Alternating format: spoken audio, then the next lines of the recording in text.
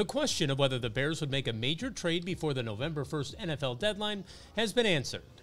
And the many rumblings about the defensive end you see in front of you about being the player dealt have indeed come to fruition. Robert Quinn has been traded to the Philadelphia Eagles on Wednesday, this according to multiple reports, the first from the NFL Network.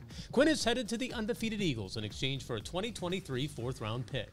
The defensive end has a year and a half left on his five year, $70 million contract he signed under then Bears general manager Ryan Pace in the offseason of 2020. After a slow first year, Quinn broke the Bears' single season sack record with 18.5 in 2021, besting Richard Dent's 17 that he had in 1984. Here's what Quinn did during his two and a half seasons here in Chicago. He finished with 21 and a half sacks. Of course, most of those came during the 2021 season, when Quinn was a Pro Bowler and a second team All Pro. Quinn also had 31 quarterback hits, 7 forced fumbles, and 77 tackles.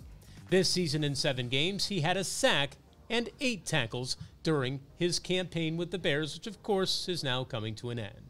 Now, the news broke on social media right in the middle of Roquan Smith's news conference at Halas Hall. And it's safe to say it was a very difficult moment for the linebacker. Robert to, to the Eagles.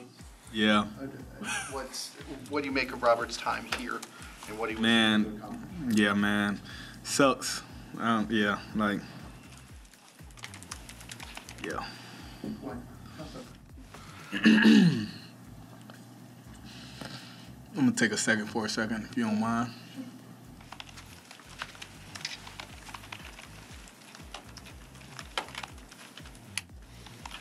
No, I have a great deal of respect for that guy. You know, damn, crazy.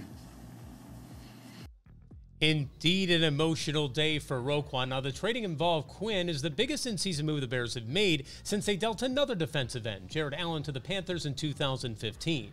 Now, the Bears move on without Quinn to face the Cowboys Sunday afternoon in Arlington. Larry Hawley, WGN News Now.